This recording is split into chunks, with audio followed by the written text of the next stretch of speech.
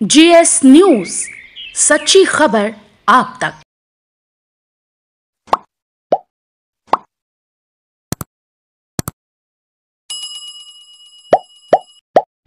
कटिहार बरौनी रेलखंड के बीच बिहपुर कटरिया एवं नौगछिया रेलवे स्टेशन व मालगोदाम का निरीक्षण।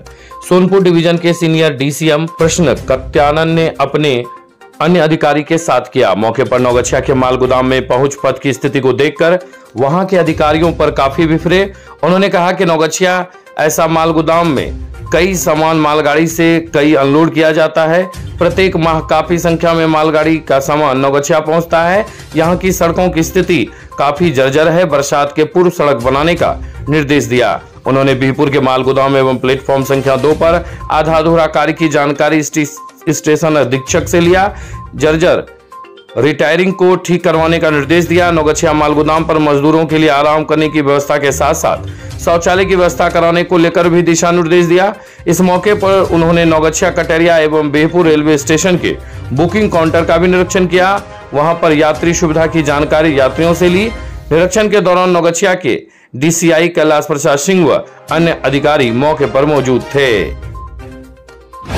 नवगछिया के रंगरा चौक प्रखंड अंतर्गत दास टोला मध्य विद्यालय दुर्गा स्थान में पिछले सप्ताह मध्यान्ह भोजन खाने के बाद बच्चे बीमार होने के कारण आक्रोशित अभिभावक एवं ग्रामीणों के द्वारा विद्यालय के प्रधानाध्यापक रामोतार पासवान के साथ मारपीट के मामले में रंगरा थाने में मामला दर्ज किया गया है। इस मामले को लेकर प्राथमिक शिक्षक संघ के द्वारा लगातार पुलिस अधिकारी से संपर्क कर मामला दर्ज कराया है। जानकारी के अनुसार प्रधानाध्यापक द्वारा लिखित आवेदन दिया गया कि पंकज कुमार व उसके भाई निरंजन कुमार के द्वारा विद्यालय परिसर में पहुंचकर बच्चे बीमार होने की जानकारी के बाद मेरे साथ मारपीट कर कुर्सी तोड़फोड़ किया गया। एक दर्जन से अधिक अज्ञात लोगों को भी आरोपी बनाया गया है। मालूम हो कि विद्यालय मध्यान्ह भोजन खाने से लगभग दो दर्जन से अधिक बच्चे बीमार हो गए थे। महादलित टोला नवादा में अतिक्रमण के खिलाफ चला बुलडोजर, विस्थापित परिवारों का घर ध्वस्त। शुक्रवार को नौगछिया एसडीओ यतन कुमार पाल एवं एसडीपीओ दिलीप कुमार के नेतृत्व में बड़ी संख्या में पुलिस पदाधिकारी और महिला पुलिस पुरुष पुलिस बल थाना क्षेत्र के महादलित टोला नवादा पहुँचे। वहाँ पूरा टोला घूम घूम कर अतिक्रमणकारियों को घर खाली करने को कहा, किंतु पंद्रह वर्षों से रहती ज़मीन पर रह विस्थापित परिवारों पर कोई प्रभाव नहीं पड़ा और सभी लोग पूर्वत रहे। इसके बाद जैसे ही पदाधिकारी की टीम कार्रवाई की प्रक्रिया शुरू की, मौके पर मौजूद बड़ी संख्या में महिलाएँ जमकर हंगामा करते हुए विरोध विरोध प्रदर्शन शुरू कर दिया, जिस पर पदाधिकारी ने हाईकोर्ट के आदेश का हवाला देते हुए हर हाल में। जिस पर पदाधिकारी ने हाई कोर्ट के आदेश का हवाला देते हुए हर हाल में कार्रवाई करने की बात कही या सुनते ही लोगों की भीड़ और उत्तेजित हो उठा और कहा कि अब हम लोग कहाँ रहेंगे और कैसे रहेंगे। जिस पर पदाधिकारी ने इस दिशा में सकारात्मक पहल करने का आश्वासन देते हुए काफ़ी समझाया बुझाया, जिसके बाद लोग किसी तरह मानने को तैयार हुए और घर का सामान हटाना शुरू किया, जिसके बाद बुलडोजर से कार्रवाई शुरू हुई और सभी के घर को गिराकर ध्वस्त कर दिया गया। वहीं मौके पर इस कार्रवाई में एसडीओ और एसडीपीओ के अलावा खरीक सीओ निशांत कुमार, थानाध्यक्ष पंकज कुमार झंडापुर ओपी प्रभारी भूपेन्द्र कुमार ढोलबजा थानाध्यक्ष प्रभात कुमार, खरीक थाने के जेएसआई सूबेदार पासवान, पीएसआई मोहम्मद एजाज रिजवी, अविनाश कुमार, राहुल कुमार समेत बड़ी संख्या में महिला पुरुष पुलिस जवान शामिल थे। हत्या के अपराध में अपर जिला एवं सत्य न्यायाधीश प्रथम नरेंद्र पाल सिंह ने दोष सिद्ध किया। दोष सिद्ध नौगछिया प्रखंड के कदवा ओपी क्षेत्र के जंगली टोला कदवा निवासी, हुलो मंडल, संजय मंडल, विकास मंडल। भूपेश मंडल, वरुण मंडल, अरुण मंडल, विलास मंडल है। ज्ञातव्य हो कि जंगली टोला कदवा के गौरी मंडल के अपराधियों ने 22 अगस्त 2016 को गोली मारकर हत्या कर दी थी। गौरी मंडल शौच करने के लिए खेत की ओर जा रहे थे।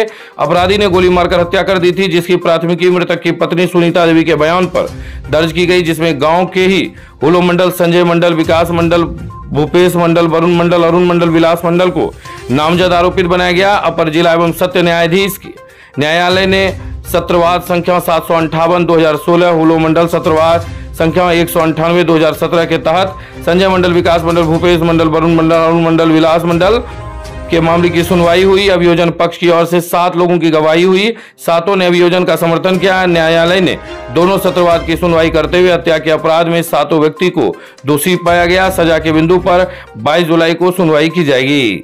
वहीं सरकार की ओर से ट्रायल में अभियोजन पक्ष की ओर से अपर लोक अभियोजक शंभुनाथ सिंह व लाल मोहन मंडल ने बहस में हिस्सा लिया।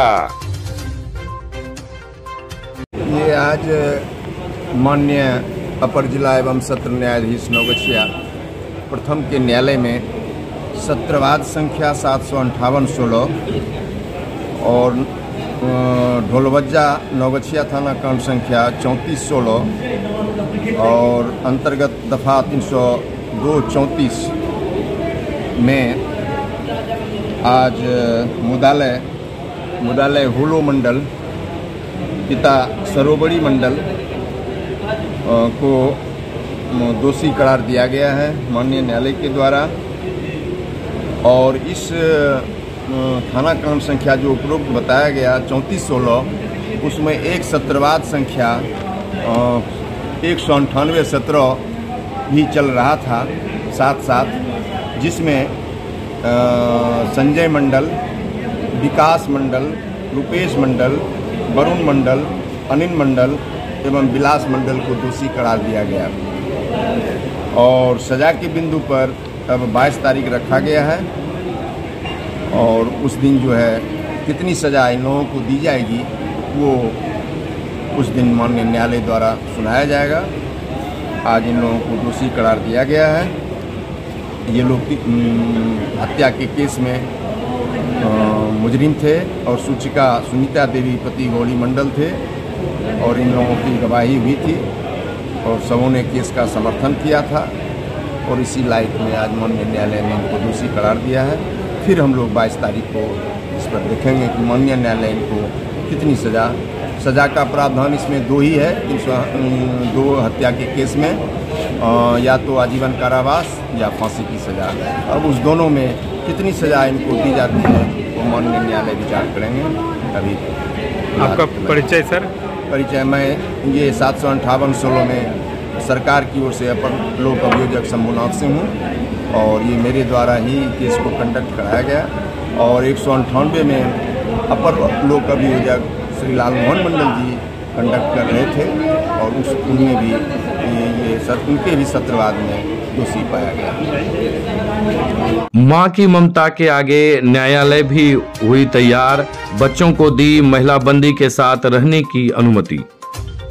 हत्या के आरोप में नौगछिया जेल में बंदी महिला के साथ। दो बच्चों को रहने की इजाज़त न्यायालय ने दी है। नौगछिया उपकारा में दहेज के लिए हत्या के आरोपित महिला गोपालपुर थाने के नपटोलिया निवासी रितु देवी से तीन वर्षीय दो बच्चे पड़ोसी के साथ मिलने आए। माँ से मिलने के बाद दोनों बच्चे घर जाने के लिए तैयार नहीं हो रहे थे। वह माँ के साथ ही रहना चाहते थे। माँ व बच्चे को अलग किया जाने लगा तो दोनों रोने लगे। जेलर भी असमंजस में पड़ गए कि बिना कोर्ट के अनुमति के दोनों बच्चों को जेल में वह कैसे रख सकते हैं? जेलर अरविंद कुमार ने इस संबंध में एसीजेएम प्रथम न्यायालय को। इसको लेकर आवेदन दिया। दोनों बच्चे माँ के साथ रहना चाहते हैं। न्यायालय ने आवेदन के आलोक में दोनों बच्चे को माँ के साथ रहने की इजाज़त दे दी। कोर्ट से इजाज़त मिलने के बाद दोनों बच्चे को माँ के साथ उसके वार्ड में भेज दिया गया।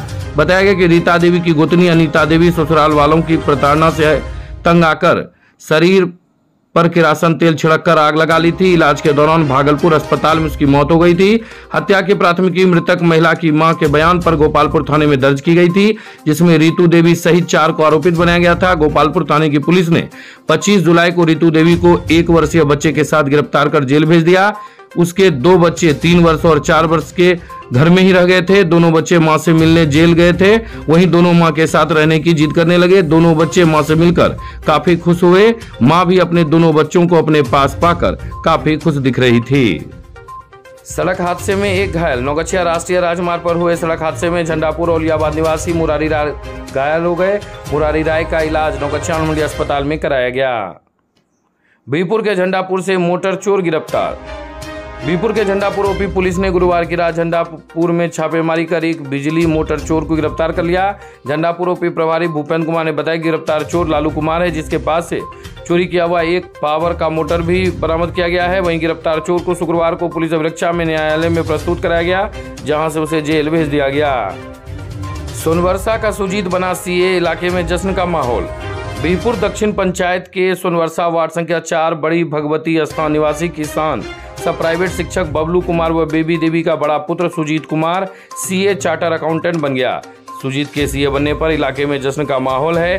पिता ने बताया कि वह कोलकाता में रहकर सीए की तैयारी करता था।